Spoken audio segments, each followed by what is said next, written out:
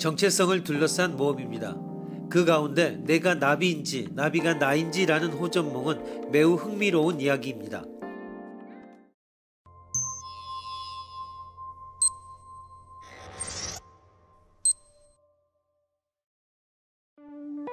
장자 재물편의 나비 에피소드는 누구나 한 번쯤 매료되는 이야기다. 나는 나비이다. 느긋하게 즐겁게 날아다니고 있다. 그런데 문득 깨어보면 인간이다 라고 하는 그래서 도대체 인간인 내가 나비가 되는 꿈을 꾸고 있었는지 그렇지 않으면 나비가 인간이 된 꿈을 보고 있는 것인지 이는 자기와 다른 사람이 구별되지 않는 일체의 경지를 말한 우화로 설명되기도 하지만 오히려 이 현실이 사실은 꿈이나 허구 안에는 없다고 확신할 수 있을까? 라고 해석하는 편이 재미있다. 우리가 있는 여기는 현실은 아니고 그 밖에 진정한 세계가 있다. 진정한 세계 안에 시뮬레이션 게임으로서 만들어진 허구의 세계에 우리가 있다는 것. 이 현실이 사실은 허구라고 하는 이런 세계관을 범허구주의라고 한다. 대부분의 사람은 이 범허구주의를 가능성으로서는 인정해도 진위를 확인하는 것은 불가능하다고 생각한다. 현실이라는 어떤 증거를 가져와도 허구로 그처럼 만들어지고 있다고 응수를 한다면 끝이기 때문이다.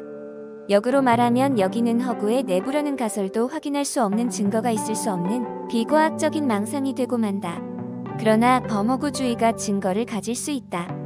만약 이러이러한 일이 사실이면 현실로 불리는 여기는 허구 속이 틀림없다라는 증거가 있다면 말이다. 그러한 증거를 생각해낼 수 있을까?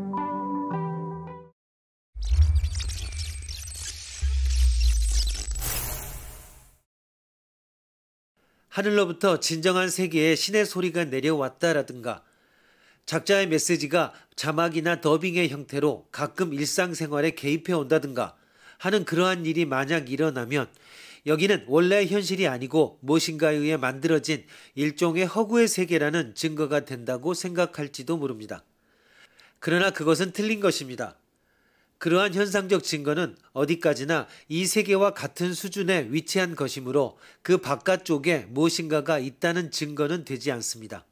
다른 별 사람의 공이 많이 들어간 장난일 수도 있지 않을까?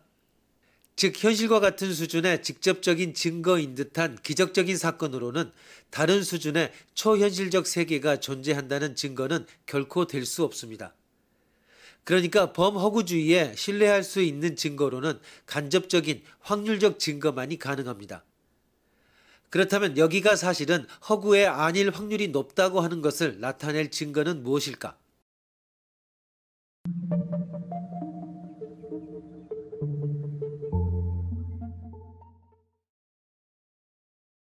우리의 IT 문명이 진보해 컴퓨터 시뮬레이션이 성장해 일상적으로 PC 내에서 인공세계의 지성체를 만들어 움직일 수 있게 되었다고 합시다.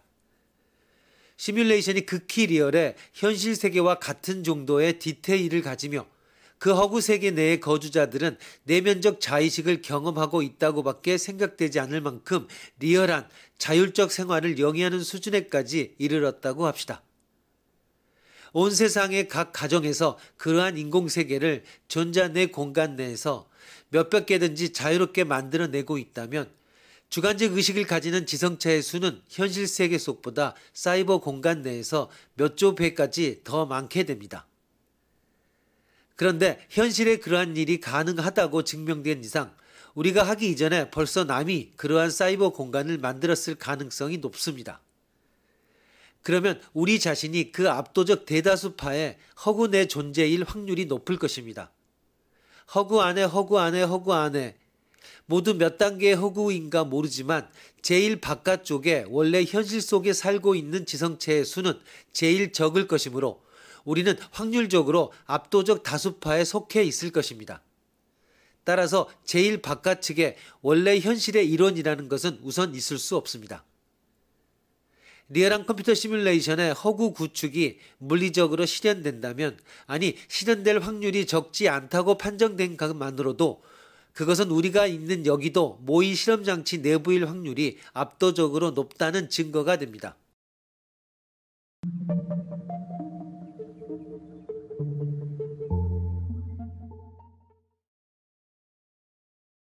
장자의 나비꿈 뒷이야기입니다. 장자는 이렇게 말했습니다. 그렇다면 지금의 나는 진정한 나인가? 아니면 나비가 꿈에서 내가 된 것인가? 내가 나비가 되는 꿈을 꾼 것인가? 나비가 내가 되는 꿈을 꾸고 있는 것인가? 알쏭달쏭한 스승의 이야기를 들은 제자가 이렇게 말했습니다. 스승님, 스승님의 이야기는 실로 그럴듯하지만 너무나 크고 황당하여 현실 세계에서는 쓸모가 없습니다. 그러자 장자는 이렇게 답했습니다. 너는 쓸모 있음과 없음을 구분하는구나. 그러면 내가 서 있는 땅을 한번 내려다 보아라. 너에게 쓸모 있는 땅은 지금 네 발이 딛고 서 있는 발바닥 크기만큼의 땅이다. 너에게 정말 필요한 땅은 네가 디디고 있는 그 땅이 아니라 너를 떠받쳐 주고 있는 바로 내가 쓸모 없다고 여기는 나머지 부분이다.